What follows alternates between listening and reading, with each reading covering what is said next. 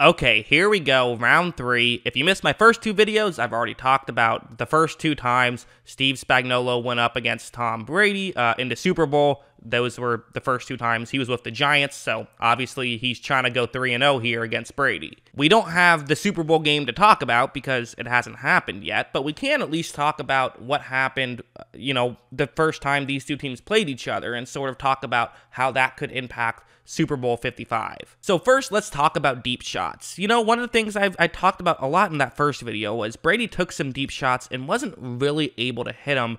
And early on in this game, it was really no different. I mean, this is one safety deep, Mike Evans with a one-on-one matchup against Bashaud Breeland. You would think that's a good matchup for the Bucs, and that's something that Brady and the Buccaneers would want to take. And logically, that does make sense. This is something that you don't see too often, only one safety deep. But when you do see it, you want to take that opportunity. However, since there's a blitz, Brady's going to get pressured. He gets hit as he's thrown. Uh, and, you know, I, am not sure if that's, it's still not a bad throw. Evans wasn't able to make the grab. That's the one he usually does make. Didn't make it that time. So that's obviously partially a problem. Later on in the game, this play would happen, where it's again the same thing. But, and again, they're trying to pick on Bashaud Breeland here, which is a mistake. Breeland's a really good corner.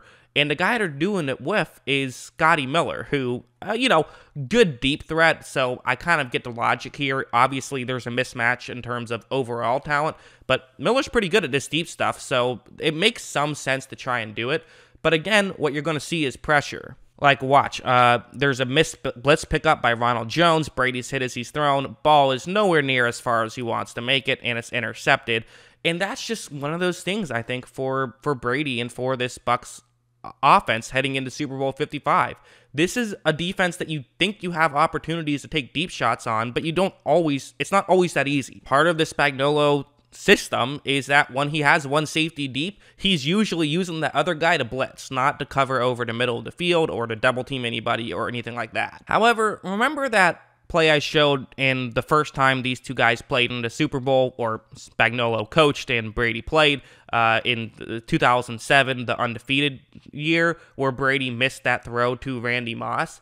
Well, they're going to try a very similar idea here on this one. It's a cover two man play, and Mike Evans now is, listen, he's not Randy Moss, but he obviously is still a very good deep threat, and he's going to be running deep towards the sideline, and that's where Brady's going to look to throw. And as I talked about, these plays can work against Spagnuolo's cover two better than other teams' cover two because in Spagnuolo's cover two, the safeties stay a lot closer to the middle of the field and a lot further in, so deep shots can work better against this coverage, whereas in some cover twos, they're useless. A couple key things to notice though before I show this play. For one thing, they're doubling Godwin here. It's only going to be a three man rush, and Godwin is getting doubled here. So that's interesting for sure. Another interesting thing to point out this is a, a, fourth down and three, which is probably why Godwin is getting that just straight up double team right here. Uh, and, you know, they're keeping an extra eye on Antonio Brown as well and not focusing as much to Mike Evans. And, and I think it's just simply because Evans is more of a deep guy. You're not too concerned about the deep play. I mean, you are to some degree, but you really just want to get off the field here. But watch how Evan gets towards the sideline, which makes the safety not realize quick enough that he's running a deep route, and by the time uh, the realization is made, finally, Brady is able to hit a deep shot against the Spagnuolo defense. It seemingly took forever, and it took a really good route from Mike Evans to make it work, but they're finally able to do it. And so it's difficult. I'm not going to argue against that. It is difficult, but it can be done, and if you can make it happen, well, obviously making it work once is worth five times of it not working out. So I think that Tampa Bay will and should take those opportunities. Also, this play is I can't believe this happened. I, this is something that shocked me when I went back and watched the tape, not of this game, but if you watch my second video, go back and watch it because you know uh, these are all kind of blending together. Look at what happens in this in this play. I can't believe this. Where in that second video, Aaron Hernandez, he was doing a great job against the Giants defense, but he was doing much better against linebackers than he was against safeties. And so one of the things they did was to get Aaron Hernandez on a linebacker, they had him line up as a halfback to get that matchup. And they actually got a key third down conversion uh, with that exact format. Well, now what they're doing is they have Antonio Brown there, which I can't believe. And I was thinking about this and thinking, are these related or is it an unbelievable coincidence? I think it's related because if you remember, this was one of the games that Bruce Arians really let Brady kind of control a lot of the playbook. And I can't imagine this is a coincidence and he just simply forgot a key play in one of his Super Bowls against this defensive coordinator. So I wouldn't be shocked whatsoever if we see Antonio Brown lined up as a back again. And especially just to add to the, you know, the reason why I do believe that this is the same, uh, Antonio Brown and the Bucs. this is a third down and three. Exact same situation that Hernandez converted on. So, uh, you know, uh, I think that that's pretty interesting although this time doesn't work out as well. Kansas City does have a safety covering Brown, which makes sense. You're not going to have a linebacker cover him, but at least you don't have a, a corner covering him. But uh, pressure came too quickly. Tampa Bay could not pick up a blitz, and so kind of all ended up not really mattering. That's one of those things where I feel like, you know, I watch all this film, I find it incredibly interesting and fun. I'm sure some people are going to say, well, who cares? But I don't know. It, it's fun to me. Also, remember my first video when I talked a lot about how Spagnuolo likes to rotate his coverages, get the coverage different?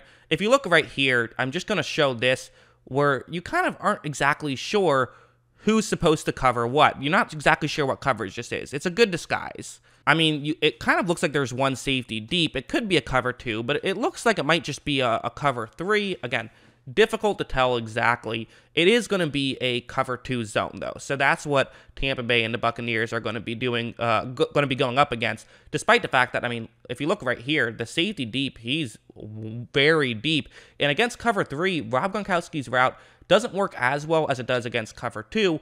Also worth noting, this is a zone blitz, so a lot of interesting stuff going on here from Spagnuolo. But this time, Brady takes the snap despite immediate pressure, makes a beautiful throw, and they get a big completion right there.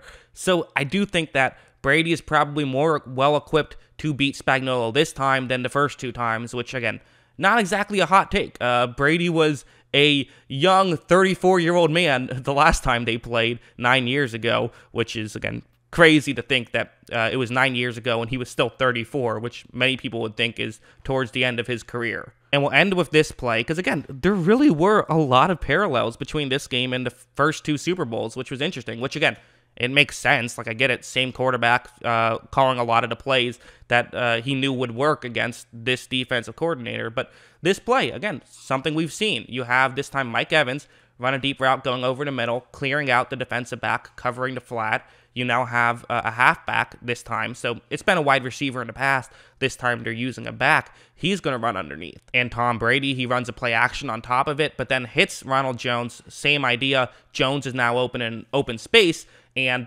he makes a move, gets a touchdown. Just an incredible play. So, yeah, a lot of fun stuff. How much did we learn? I don't know. Uh, I think we learned that Brady does uh, get better at these things as it goes on. You know, he's he's certainly making the reads better, the play calls are better, and I have to imagine a lot of that is Brady, not just Bruce Arians. I do think the more times a quarterback plays a defensive coordinator, I think that's advantage quarterback, not advantage defensive coordinator. And so it's interesting, you know. I, I kind of felt like I was always ready for Brady to go up against one of those guys from the Giants. And I always thought it would be Tom Coughlin or Eli Manning or just the Giants itself. But honestly, Steve Spagnuolo, that's a pretty good trilogy as well. So it's pretty interesting, and it's definitely going to be a very fun game. A lot of NFL history is going to be decided in this one game. It's it's so fascinating. It means so much, and it's very cool to see. So yeah, uh, thanks for watching all of these videos about Spagnuolo and about Tom Brady. I hope you guys enjoyed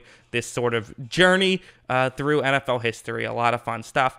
Uh, I had a lot of fun making it. I hope you guys enjoyed watching it, and of course, as always, thanks for watching.